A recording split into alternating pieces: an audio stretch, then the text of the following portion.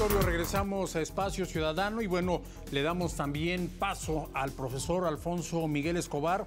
Él es profesor, eh, él es el que ha iniciado precisamente este proyecto que traen estos jóvenes estudiantes de Tecnología de la Información y Comunicación. Profesor Alfonso Miguel Escobar, bienvenido, muchas gracias por acompañarnos. Gracias, buenos días. Oiga, pues nos hemos estado enterando ya a través de, de nuestros jóvenes invitados, Ángel y Julio, sobre bondades, vamos a llamarla así, las bondades que ofrece la, la televisión digital, pero también algunas eh, contrariedades que, Claro. que se nos presentan, ¿no? sobre todo en estas zonas urbanas, zonas como en las que vive Don Celso. eh, mucha gente se ha quedado sin recibir la señal digital. Claro. Bueno, básicamente, pues son muchos factores los que pueden afectar a, a tu señal, ¿no? No es lo mismo el centro, Arrazola, Tlacolula. Cada uno, por la orografía de Oaxaca, pues son altos y bajos. Entonces depende mucho, se tiene que hacer un estudio realmente de la zona para poder identificar bien qué tipo de antena necesita, cuántos metros quizá de mástil necesita para poder recibir la señal. Entonces son cuestiones que se tienen que hacer bajo estudio. Eh, eh, sería mentirte decirte que con un solo tipo de antena podrías este, garan- garantizar este, lo que es este, la cobertura en cualquier parte de la ciudad. Entonces, lo que nosotros hacemos es estudiar un poco las zonas a través de ese programa que le llamamos brigadas digitales. Nosotros lo que hacemos es ir a ciertos municipios que nos van marcando, eh, brindamos asesoría, en este caso es gratuita, y le decimos a la comunidad, oye, eh, puedes, podemos ir a tu casa, ya que estamos cerca, podemos ir a tu casa, podemos eh, verificar bien lo que tú necesitas, porque de repente te pueden vender, tú necesitas esto, esto, esto, esto, y puede que no, ¿no? Eh, hay personas que inclusive venden decodificadores a teles este, digitales, pero no las necesitan, las digitales realmente no necesitan un decodificador. Estas, estos aparatos ya lo traen, de hecho. Ya ¿no? traen un sintonizador digital integrado, entonces estos no necesitan decodificador, solamente las teles, eh, digamos que vulgarmente le dicen, ¿no? Las que son de pantallas este, de cajón, las cuadraditas, esas sí necesitan a fuerza forzosamente un, un decodificador digital. Eh, ahora bien, en parte de la ciudad, como apenas empezó esto del apagón analógico, lo que son las televisoras, tanto locales, por ejemplo, la, la zona centro, pues en teoría deben ver eh, 11 canales. 11 canales. 11 canales. 11 canales formales. Eh, lo que es zonas un poquito más alejadas como Costa, Istmo, toda lo que es la, la región de los, eh, de los ocho, las ocho regiones de Oaxaca tienen que, ahí varía. ¿Por qué? Porque cada repetidora es la que va a estar eh, en comunicación con las televisoras locales para ver cuándo ya les liberan la señal digital. Por ejemplo, donde yo tengo entendido en el Istmo, por ejemplo, solo se deberían ver máximo tres o cuatro canales, por ejemplo. En la, y eso depende mucho de las repetidoras. De igual manera, lo que es, por ejemplo, Ocotlán, ahorita dependen de lo que es el, el Cerro del Fortín, que es la principal repetidora. Después se va a habilitar la repetidora de lo que es Ocotlán, pero tienen que esperar un proceso un poquito, va un poco lento, pero sí, en algún momento en su repetidora local van a poder sintonizar mucho mejor los canales. Pero no hay fecha todavía para eso. Todavía no hay una fecha fija, este, dependen mucho de lo que es IFETEL también, lo que son las, eh, los que son las casas de televisión, dependen de ellos para que les liberen tanto más potencia, porque de repente dicen, oye, ¿por qué en el Rosario no veo? ¿Por qué por acá no veo? También eso les tienen que liberar a ellos más potencia para que también puedan tener más cobertura. Profesor, ¿qué pasa en las poblaciones serranas en donde, si de por sí la televisión analógica era imposible poder verla, la televisión digital? Bueno, ahí es, es difícil decir que con una antena aérea pueda funcionar. Realmente ahí hay que probar con distintos tipos de antena para garantizar lo que se pueda ahí este, ver con una antena aérea es que entre más elementos tenga, porque de repente van a, cuando compren su antena aérea les dice 20 elementos, 36 elementos, 40 elementos. Entre más elementos tenga su antena, va a tener mejor cobertura en las zonas lejanas. Profesor, eh, sabemos que trae por ahí usted una antena de este tipo. Quiero pedirle, por favor, que nos la muestre Claro. a- a- al público para poder eh, conocerla, para que la gente esté perfectamente enterada qué tipo de antena es la que necesitamos, porque como usted dice, y me ha tocado verlo, Sí. hay mucha gente que está sorprendiendo a las personas que desconocen totalmente Sí. este sistema de televisión y les venden la- las antenas tradicionales, las antenas analógicas, estas antenas aéreas que todos conocemos y que en al- algún momento llegamos a tener en las azoteas de nuestro domicilio. Esta es una antena analógica. Ajá, esta ya es digital, es para la señal tanto UHF como VHF. Anteriormente la tele analógica usaba VHF. Esta ya es especial para UHF, que es, digamos, sobre la banda que se está moviendo ahorita lo que es TDT o televisión digital. ¿Cómo se pueden dar cuenta? Realmente hay antenas que ya tienen varios años colgadas en sus techos. Eh, si ven que su antena está oxidada, pues ya es mejor cambiarlo realmente porque no está hecho para esa señal. Lo más sencillo que pueden darse cuenta si va a soportar lo que es televisión digital, no sé si aquí pueden revisar, tiene un conector de este lado, un tipo F. Con que ya traiga el conector ya es, eh, digamos que ya una prueba de que sí sirve para lo que es televisión digital. Anteriormente las antenas eh, de UHF lo que tenían son eh, dos dipolos o dos conectores donde se conectaban y tenían un convertidor hacia esto. Las nuevas antenas ya traen esto incorporado. Esa es como que una forma de identificar. Esa, por ejemplo, es de 20 elementos. 20 elementos. ¿Por qué es de 20 elementos? Por el número de elementos que contiene. Cada uno de estos, si los llegamos a contar, este, son 20 20 elementos ah, en, total de todos. Son prácticamente las antenas son hechas de aluminio. Eh, esa, por ejemplo, está como en 300 pesos aproximadamente en alguna tienda de autoservicio. Eh, yo personalmente esta la he probado en lo que es, yo vivo por el CRIT más o menos, de, que de repente no hay señal.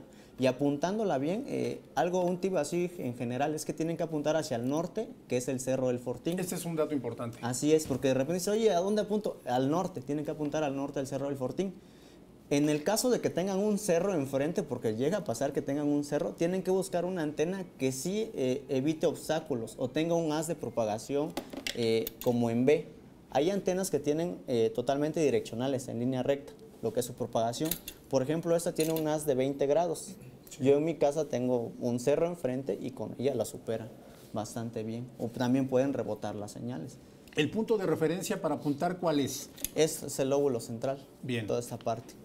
Entonces, eh, en este caso, la antena debería estar viendo hacia allá, hacia, el Cerro del Fortín está de este lado. El norte. Entonces, tendrías que apuntarle hacia allá. Hacia allá. Exactamente. Perfecto. De esa manera deben de, dirigir la antena. Hacia el norte. Eh, por ahora hacia el norte. Cuando ya se liberen lo que son las repetidoras, por ejemplo en Ocotlán sí tendrían que apuntar hacia el norte, ahorita. Cuando ya se liberen las repetidoras, lo pueden cambiar hacia su repetidora local y ya les va a tener mucho mejor potencia, mucho mejor fidelidad. Pero ahorita por el momento sí, hacia el norte, hacia el Cerro del Fortín. Pero eh, hemos escuchado que no hay fecha para cuando liberen estas repetidoras, ¿verdad? Todavía no, todavía no. Yo tengo conocidos también en televisoras locales y me dicen que siguen en espera también de lo que es un permiso que a ellos les dan para que puedan repetir la señal.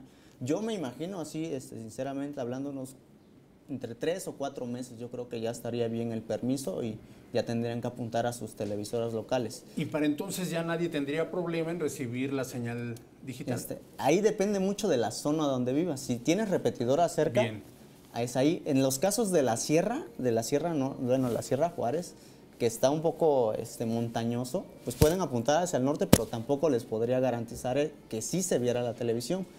Eh, en ese caso hay que apuntar hacia el norte y tener un mástil bastante alto para poder este, recibir o percibir las señales y una buena antena también. ¿Qué situaciones estarían pasando la, gente que vive en la zona de la cañada, por ejemplo, en donde hay hundimientos? Exactamente, ahí tendrían que apuntarle eh, al norte y hacia arriba. Al norte y hacia arriba. Exactamente, al norte y hacia arriba para que puedan tener una buena señal. Estas, ahora que tuve oportunidad de recorrer el pueblo de, de Arrasol y de San Francisco Javier en compañía de Don Celso, llegamos a ver que hay, aún hay casas que conservan estas enormes antenas parabólicas.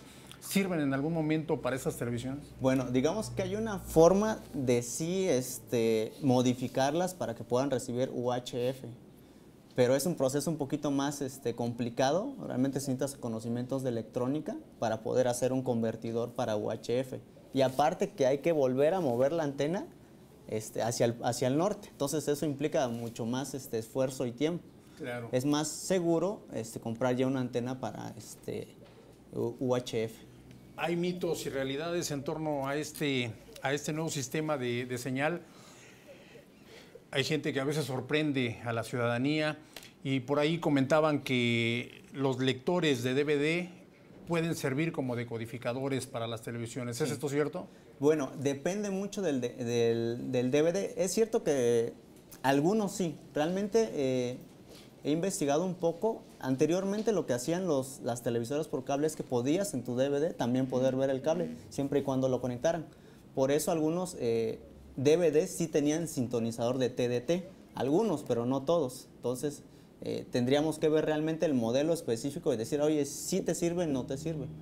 Lo de menos es poder intentarle, pero real, realmente si, si en el DVD hay una entrada como la que les mostré aquí, aquí en este lado, que es un conector tipo este, hembra F, es probable que sí les pueda funcionar como decodificador, decodificador perdón. Es probable, pero no es eh, totalmente garantizado. Bien. ¿Qué pasa? Eh, la gente que ha en algún momento tenido los servicios de televisión por cable y de repente se quedan con estas cajitas, ¿sirven estas cajitas eh, para poder captar las señales aún sin tener el servicio de estas empresas? Bueno, en este caso no. Realmente ahí lo que las bueno, los eh, concesionarios de cable lo que hacen es tener un tipo de tarjeta algunos, que es quien les accede a lo que es la señal. Entonces, tanto habría que reorientar el plato que les dejen y modificarlo para que pueda agarrar la señal, como que también hay que modificar el, lo que es la señal, porque esos se mueven a otro tipo de bandas, son satelitales. Perfecto. Y bueno, Julio, por ahí nos querías hablar de las brigadas que están eh, ustedes eh, realizando en toda la, ciudad. Sí, este, bueno, estas brigadas son con el, con el fin de dar información y pues este, apoyar a, a las personas más que nada que en, estos, en estas localidades no hay no llega bien la señal, entonces, o no saben conectar sus decodificadores. Entonces, este es el, fin de estas brigadas, dar esa asesoría. Este, nosotros en, nuestra página de Facebook, que es de la, de la carrera, este, vamos a estar documentando como una especie de tutoriales de cómo vamos este, instalando estos decodificadores. Eh, se llama TICS UTBCO. TICS. U UTBCO. TBCO. Esa es la página de Facebook. Sí, así es. Y también, pues, igual como ya habíamos este, dicho, podemos contactarnos en los números que son el 951-127-9898, el 951-279-8164 y el 951-500-5030. Perfecto. Pues ha quedado perfectamente claro, profesor. ¿Algo más que usted nos quiera agregar? Pues bueno, igual eh, como apoyo a la ciudadanía también estamos, vamos a documentar todas las instalaciones que hagamos porque de repente nos piden, oye, ¿sabes qué? Nosotros queremos que ustedes lo hagan, ¿no? Y sí lo podemos hacer. Eh, cuando llevemos material, porque por ejemplo ahorita está escaseado todo el material de codificadores, antenas, mástiles. Entonces va a haber ocasiones que en las brigadas llevemos material para que también podamos este, hacer las instalaciones.